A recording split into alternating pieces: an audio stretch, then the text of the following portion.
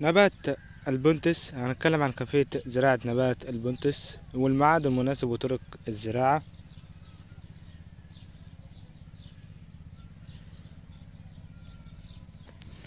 السلام عليكم ورحمة الله وبركاته. من قناة تعليم تكاثر نباتات الزينة. إن شاء الله معانا فيديو النهاردة عن نوع من أنواع التكاثر. هنتكلم عن كيفية إكسار النبات البنتس في المشتل. عن طريق القص بالطرفية في ألوان كثيرة من نبات البنتس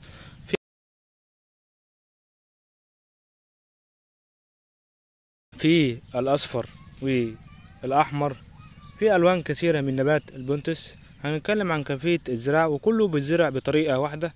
طريقة القص هي طريقة عن طريق القص بالطرفية اللي هي شوشة النبات فقط. يعني باخد شوشة النبات وممكن آخد جزء من العقلة الوسطية لو هي طرية معايا. لو عقلة خشبية ما باخدهاش أنا باخد اللي هي الطرية اللي هي لينة معايا كده. طريقة القص هذه نبات البنتس قدامنا اهوت بنيجي من تحت كده من تحت البرم كده وبنسيب حوالي ملي وبنيجي على الزهور بننزلها علشان بخار الحضانة بينشف له الزهور وبما يؤدي إلى تلف الطرفية.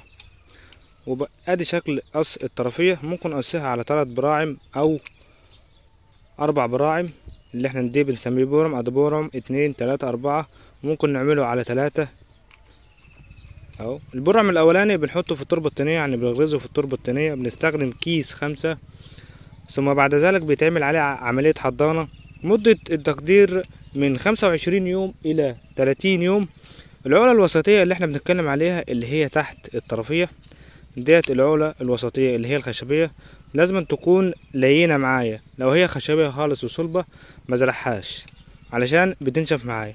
ميعاد الزراعة ابتداء من شهر خمسة إلى نهاية شهر عشرة عن طريق القص بالطرفية. في فصل الشتاء بنقص عقلة وبنقص طرفية. في فصل الشتاء يعني إمتى؟ يعني في نهاية شهر اتناشر ونهاية شهر واحد. يعني مدة الإكسار عن طريق القص بالعقل في الشتاء نهاية شهر اتناشر إلى نهاية شهر واحد. ممكن أقص في شهر اتنين ممكن أقص في شهر اتنين لحد منتصف اتنين. وبعد كده ما بقصش بالعقلة الوسطية تاني. بستنى إن النبات يطلع لي طلق جديد أو خارج جديد زي ما واضح معايا كده وبقص الخارج الجديد. هو الخارج الجديد ده اللي بيشتغل معايا. يتم ري الحوض بالمياه غمر ويتم الزراعة عند جفاف التربة يعني بنص ساعة يتم الزراعة. طريقة زراعة نبات البنتس بعد الري بنص ساعة يعني عند جفاف التربة زي ما واضح معانا كده بستنى لما الكيس بيجف بتتم عملية الزراعة. لازما أغرز البرعم الأولاني في التربة الطينية يعني بغطيه بالتربة الطينية لأن الجذور بتخرج من البرعم الأولاني. وبعد الانتهاء من عملية الزراعة بعمل عليها الحضانة البلاستيك الأبيض الشفاف وعليها نسبة ظل خفيفة اللي هي الحسرة اللي إحنا بنتكلم عليها. مدة التقدير مدة التقدير تراوح من خمسة وعشرين يوم إلى تلاتين يوم دي مدة التقدير. طرق الرعاية وطرق الاهتمام. عند التقدير يتم فتح أبواب الحضانة ويتم ري النبات ثم بعد ذلك يتم شيل البلاستيك بعد ثلاثة أيام ثم وضع نسبة ظل خفيفة لمدة ثلاثة أيام ويعرض النبات للشمس المباشرة عادي.